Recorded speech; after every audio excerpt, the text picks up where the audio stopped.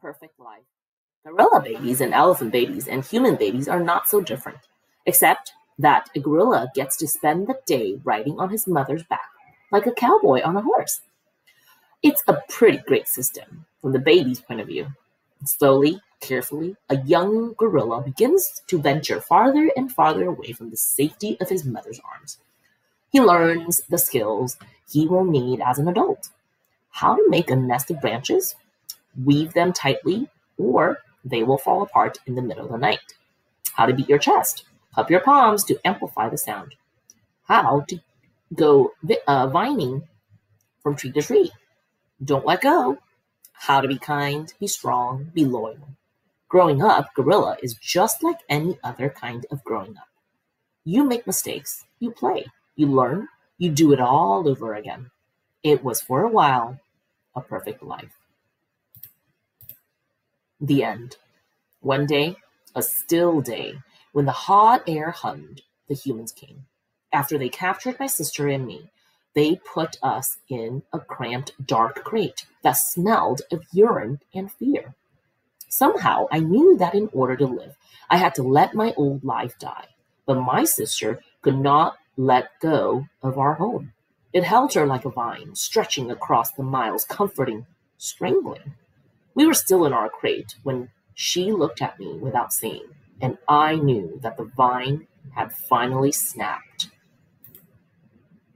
The temporary human. It was Mac who pried open the crate, Mac who bought me, and Mac who raised me like a human baby. I wore diapers, I drank from a bottle, I slept in human beds, sat in human chairs, listened while human words um, swammered around me like angry bees. Mac had a wife back then, Helen, was quick to laugh, but quick to anger too, especially when I broke something, which was often.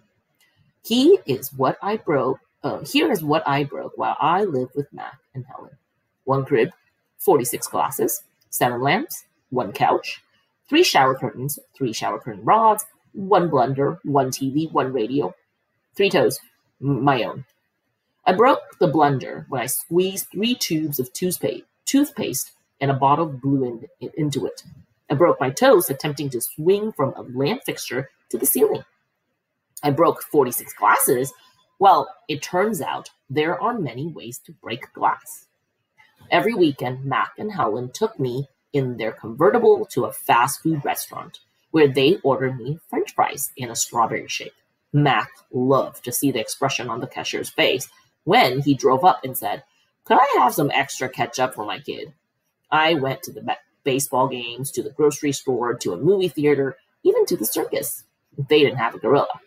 I rode a little motorbike and blew out candles on a birthday cake. My life as a human was a glamorous one, although my parents, traditional sorts, would not have approved. Hunger. In my new life as a human, I was well tended.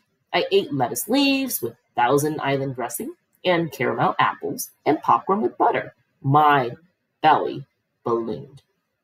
But hunger, like food, comes in many shapes and colors. At night, lying alone in my poo pajamas, I felt hungry for the skilled touch of a grooming friend, for the cheerful grunt of a play fight, for the easy safety of my nearby troop, foraging through shadows.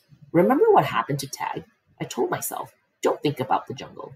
Still, sometimes I lay awake, wishing for the warmth of another just like me, asleep in a night nest of tender prayers, plant leaves.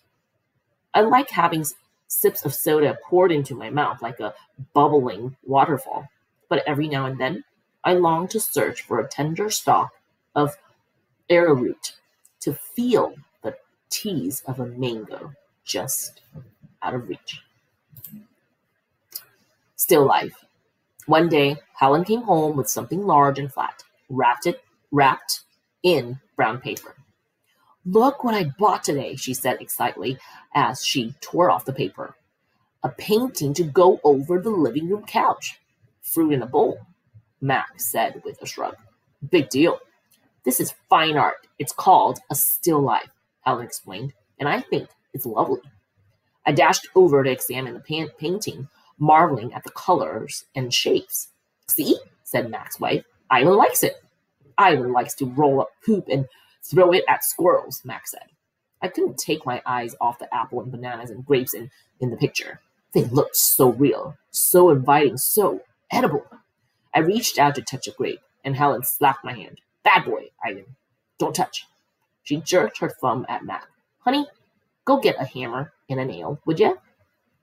While Mac and Helen were busy in the living room, I wandered into the kitchen. A cake covered in thick chocolate frosting sat on the counter. I like cake, love it. In fact, but it wasn't eating. I was thinking about. I was painting. It was paint. Uh, um, it was painting. The frosting peaked the dip like waves on a tiny pond. It looked rich and gooey, dark and smooth. It looked like mud. I scooped up a handful of frosting. I scooped up another. I headed to the refriger- refrigerator door. It was perfect an empty, white, waiting canvas. The frosting wasn't so easy to work with as jungle mud. It was stickier and, of course, more tempting to eat.